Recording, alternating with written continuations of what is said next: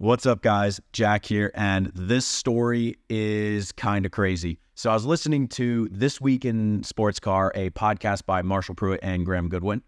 And during that podcast, he referenced this story here Pitt F1 movie filming expected to continue in IMSA.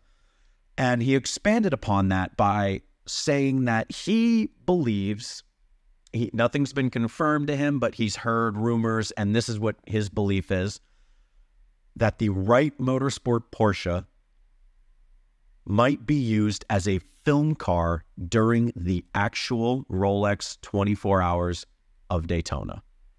That could be something fun to keep an eye out for. So at the moment, I'll show you the entry list. This car does feature a to be announced driver.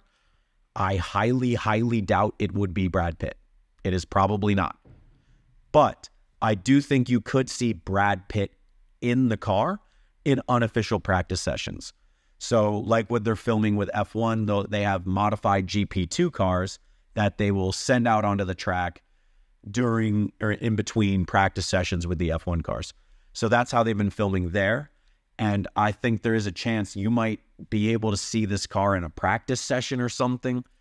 But I think they might be using a car to film according to the information that Marshall Pruett has heard from. So I will link the racer.com story in the description below and link to the podcast.